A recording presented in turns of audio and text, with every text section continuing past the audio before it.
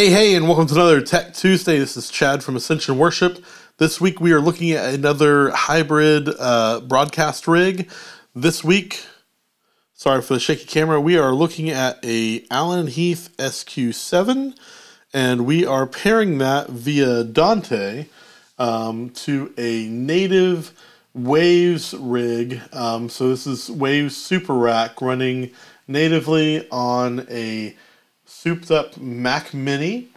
And we're just going to talk real quick about how I have this connected and, uh, and just kind of give you some useful tips, hopefully, here. Um, so, first off, real quick look at the SQ and how we have things laid out on here.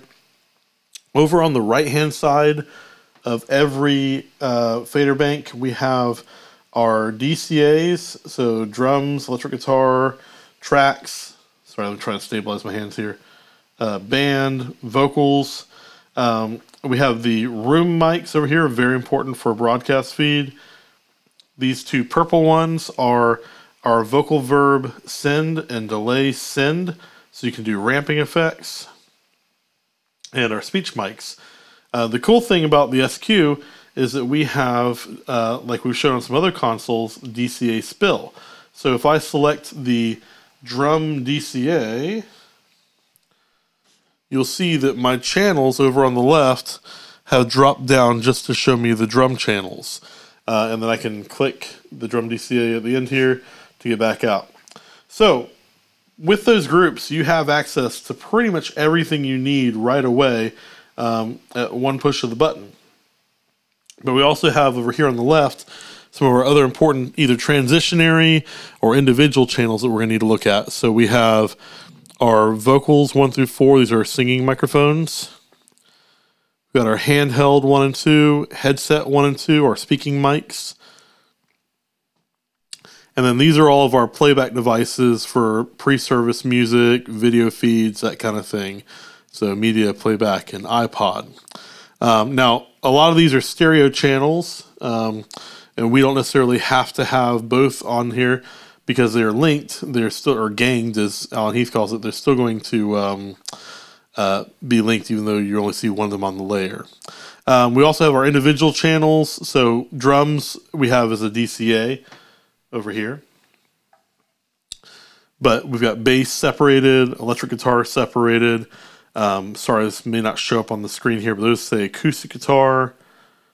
The left side of the keys, the left side of the synth rig uh, which again are linked to the right channels of those as well.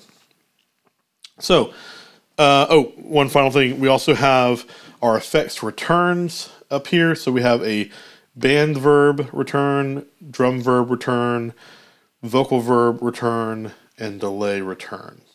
So again, we have return channels up here with knobs and mute buttons.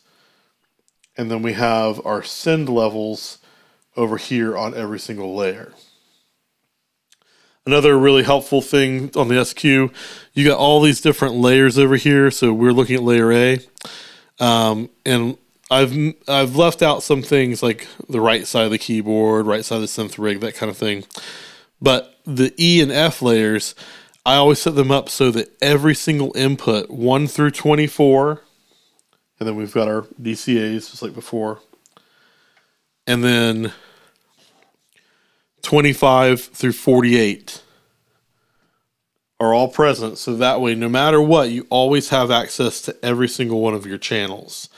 So that's kind of just a quick overview of how we have it set up. The big thing I want to show you guys today is how we're getting sound back and forth um, from our waves rig up here.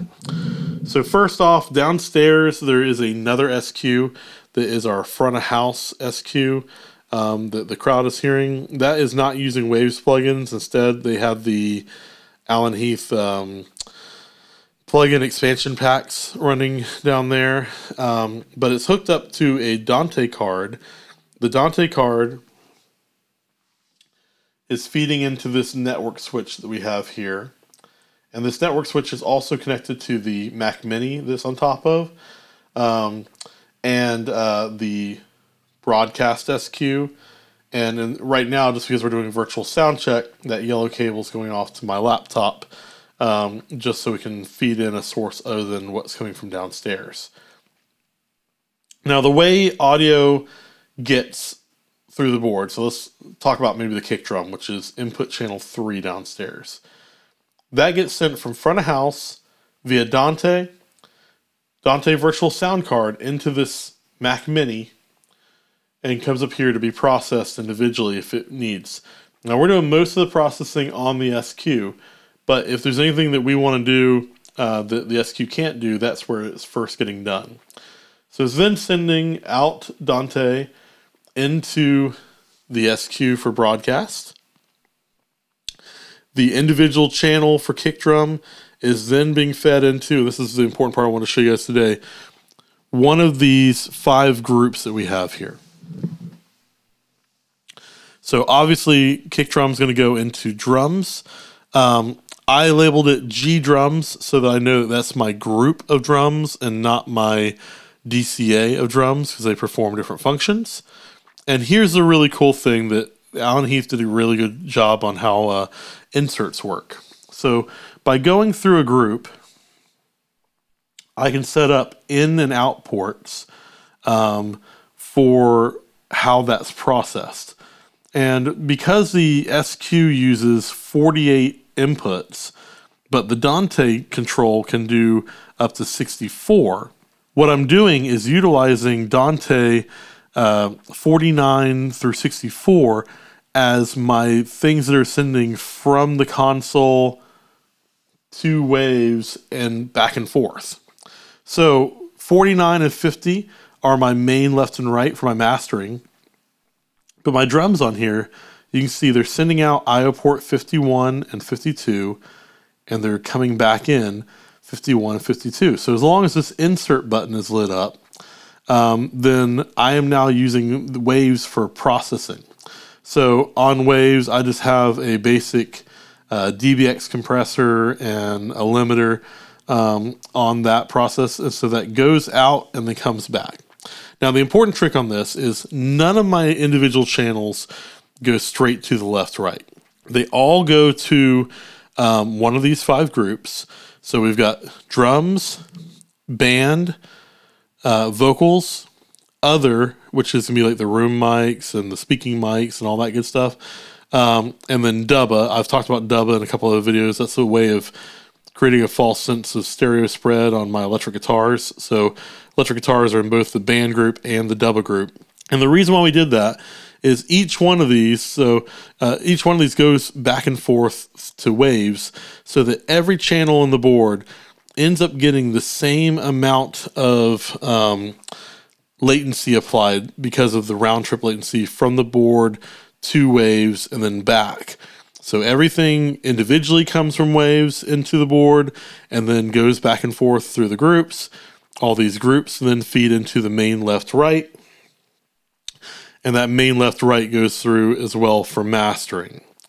Um, so really, really cool trick. So you can see on here. So we got 51, 52 for drums. Band is 53 and 54, 55, 56 for vocals, so on and so forth. So we're using up to uh, channel 60 to send back and forth between waves and the console. Um, but that's really the cool trick on here that I wanted to show you guys today. If you watch my other video where I did this with the Behringer Wing, I had to do a little bit of math to try and make this work. Um, but on here, it's a little bit more simple because all these things feed up into my groups up here in Waves. And then in Waves, under this patch window, you can create latency groups. So I have input channels so that all my channels that are getting individual processing before initiating the board, those are all in one group. So if you do anything that say creates 10 milliseconds of latency on the kick, then all the channels get 10 milliseconds of latency. And then I also have a latency group called groups, which you can see at the very end there. Those are all the the groups we just talked about drums, band, vocals, other, and dubba. And then finally at the bottom there, I have a group called mastering, which is on the master, which isn't really doing anything, but it just helps me to visualize how everything's hooked up. So this guarantees that all my inputs are lined in when they hit the board, they're lined in when they come back from groups, and then they go out through the mastering. Uh, finally, that master comes back to the board, and then it's transferred from this console to the front of the house console downstairs, just because that's where the video switcher is currently. So it then plugs into that. Uh, and that's really it. Uh, so again, the most important part of this video was I wanted to show you how that group processing works and how the uh, latency groups work. If you do those two together, it makes it a lot easier uh, to hook up this hybrid rig. Um, finally, I just want to mention um, the reason why I mentioned that the Waves rig was native and not through a like a SoundGrid server. One, the SoundGrid server has gone up in price a lot recently, apparently. Um, and so, two, because this is broadcast, I'm not as concerned about latency um, because, again, everything's to be latent together. Um, but as long as we match it to our video, then the online audience isn't going to know the difference.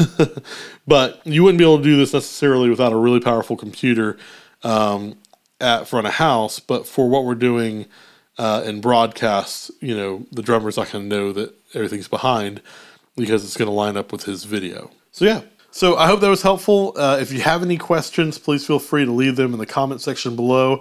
I plan on doing some more SQ videos and more wing videos in the near future. Um, so please let me know what works best for you, and I'll try and make content for you. Until next time, have a great week.